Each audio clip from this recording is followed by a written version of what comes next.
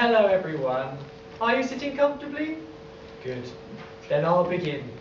Now, I'm sure you all think you know the story of Charles Darwin, don't you? Yeah, ring a bell? No, you're wrong. Absolutely wrong. Every one of you. You there at the back. You thought you knew, didn't you? You don't. Sorry. But don't worry because I'm here to tell you the real story of the man who changed the face of biology and theology forever, the actual facts of the case. Now these facts were cut from all of the famous biographies for being too ridiculous, but I assure you boys and girls that what you are about to witness here is a completely accurate portrayal of events. But first, I have to set the scene. It's late in Michaelmas 1827, a cool and breezy day in the first court of Christ's College. It's a Thursday, term is nearly over, and the college is very busy indeed.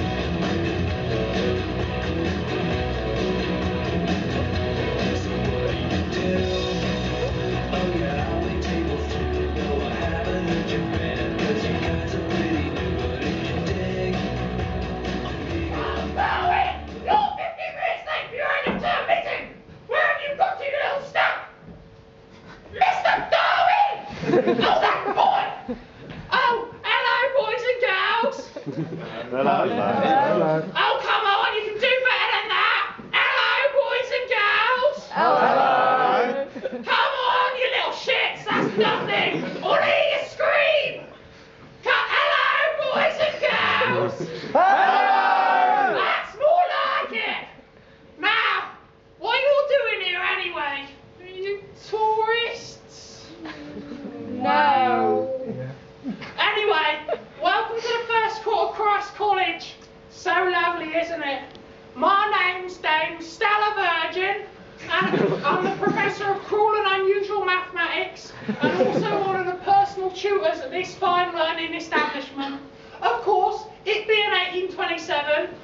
not supposed to admit women as fellows at a college yet, but for some reason they haven't noticed with me.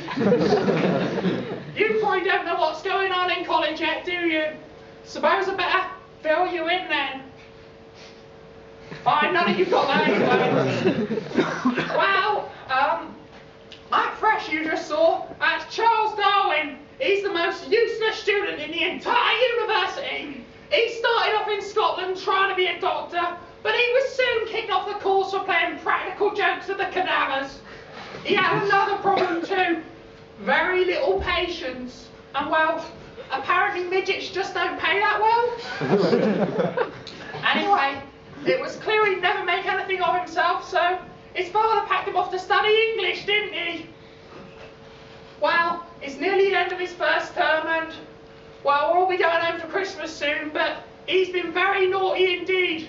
He spent all his time just mooning over the master's daughter, riding, shooting the walls, sometimes covering himself with chocolate and sitting in front of Mucor for hours on end. you know, if you ask me. Well, what's more, he hadn't been to a single lecture or submitted a single essay in the entire term. I very much want to have a word with him. Do you think you can help me call him, boys and girls?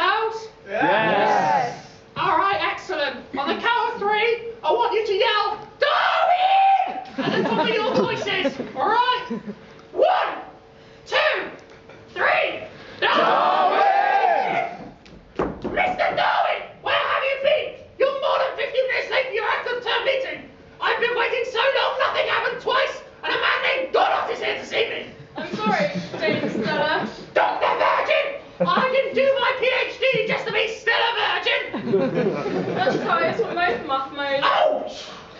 I'm sorry, Dr. Virgin. I just lost track of time. I had to go all the way to the English faculty to pick up some books for the holidays, and they were all out. And then I lost my card and couldn't get back to King's. I had to go all the way to Heffers, and I still couldn't get any books. I've just had a really awful day. Oh. More awful than that. Oh. Awful. Well, I've been speaking to your director of studies. He says you haven't submitted a single essay this term. What have you got to say to that? That's not true. I did one of fresh this week. Oh, yes. What was it on? It was on a piece of paper. Oh, you stupid boy. You're hopeless. Well, it's very nearly the Christmas, and I suggest you go home and have a long hard think about what you've done this term. Whether you're really cut out for Christ College.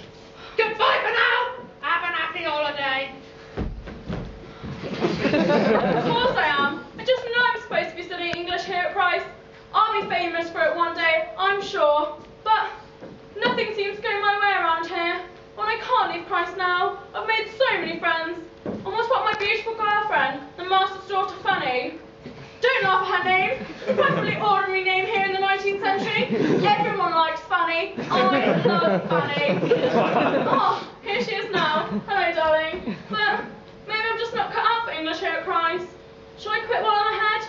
I'll ask Fanny and see what she thinks. Who are you talking to, Charles? Oh, nobody, just some tourists. How are you? I'm quite well, but I've missed you, Charles. Oh, I've missed you too. It seems like a long time since last night. Yes, and I'm still quite exhausted. It was very energetic, wasn't it? Next time, I'll beat Oh, really? Oh, yes, I've been working on my technique with Derek. Oh, yes, that should help. Derek's very good. But you'll never be quite as good at tennis as me, Charles. Oh, yes, I will. Oh, no, you won't. I will. Bye. you know I love you, don't you? Yes, Charles, I love you too. And I shall speak to my father very soon about us. Oh, but I'm afraid it's too late for that. I just spoke to my tutor, Dame Stella, and it sounds like I'm not doing very well at all. Beginning to wonder if perhaps I shouldn't come back next term. Not come back? What a horrible thought. If he leaves, I might never see him again. Oh, no, you mustn't leave. I've nearly worked up the courage to tell my father about our love. He will never accept me while I'm such a failure, Fanny. I'm afraid leaving may be my only choice. I'm just so damn shit at English. You know, sometimes I'm happy I'm a disenfranchised, repressed Victorian woman, barred from entering prestigious learning establishments. Learning seems to be so stressful. So, are you really going to go? I'm afraid so, darling. This is goodbye. Hold on, hold on. I got you a Christmas present. A box? Just what I always wanted. Thank you, Um, Charles. No, inside the box. It's a pair of gloves. Oh, thank you. I will never ever take them off. In fact, could you help me, boys and girls? If you ever see me without my gloves on, could you shout, Fanny, you've forgotten your fucking gloves? Thank you. That's- Shall we go again?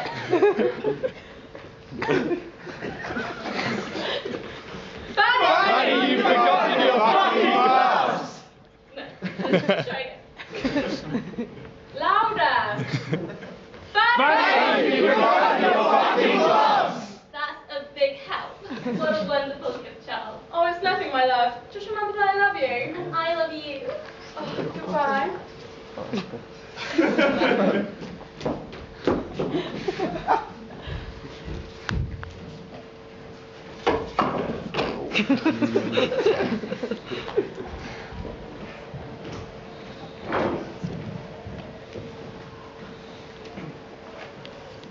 And so, with a heavy heart, Charles said farewell to Christ and headed off out of the city, looking for pastures new.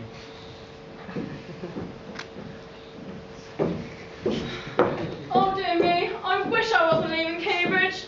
But even Anglia Ruskin won't take me with my track record. yes, there's only one place that's going to take a failure like me. I'm going to have to apply for Oxford. After all I've heard it said there, the pavements are lined with diplomas.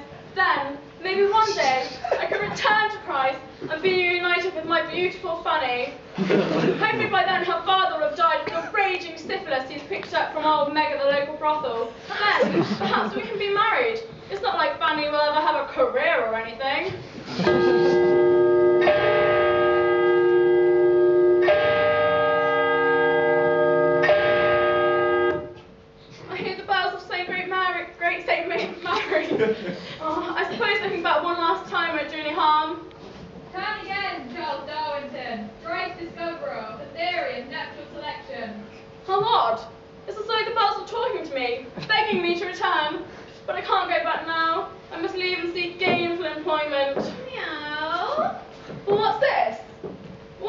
College cat. the point of following me first.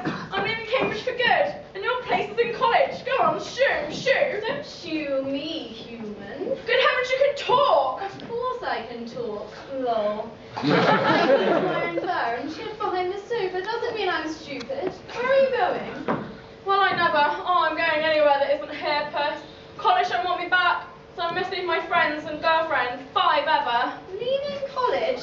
That's dumb. Why don't you let me help you? I could really help you out.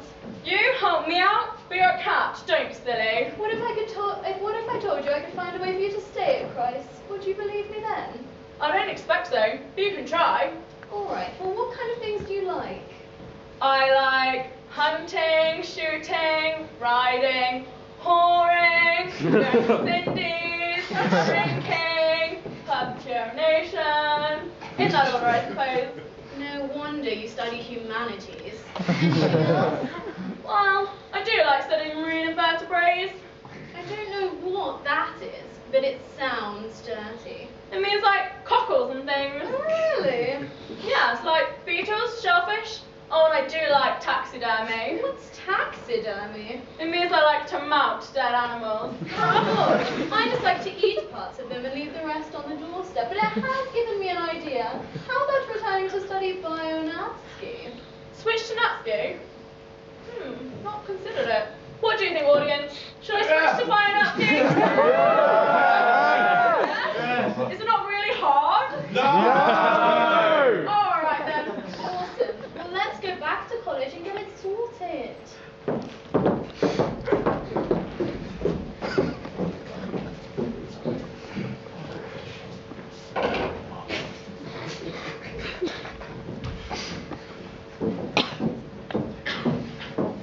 Things were looking up for Charles. With his new friend in tow, he headed back to Christ, where he found Dame Stella and convinced her that he should switch to Bio NatSci in Lent term. Reluctantly, she agreed, and soon the young Darwin was hard at work mounting all the animals he could find and classifying birds' eggs like they were going out of style. However, things did not always go to plan over the next two terms.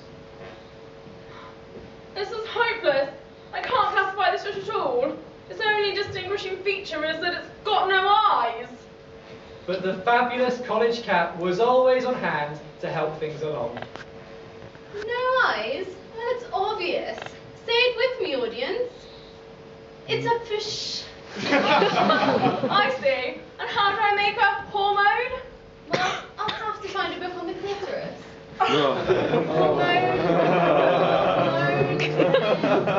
In fact, Charles was suddenly getting fantastic results, and it was all thanks to the cat's help, if not her dubious sense of humour.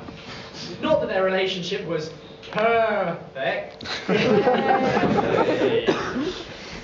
I'm sorry, Darwin. I'll never get it in while that cat is sat there staring at us. It's all right, darling. We'll finish the match later.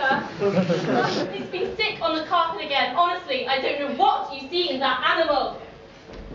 Before he knew it, it was time to sit the first set of exams.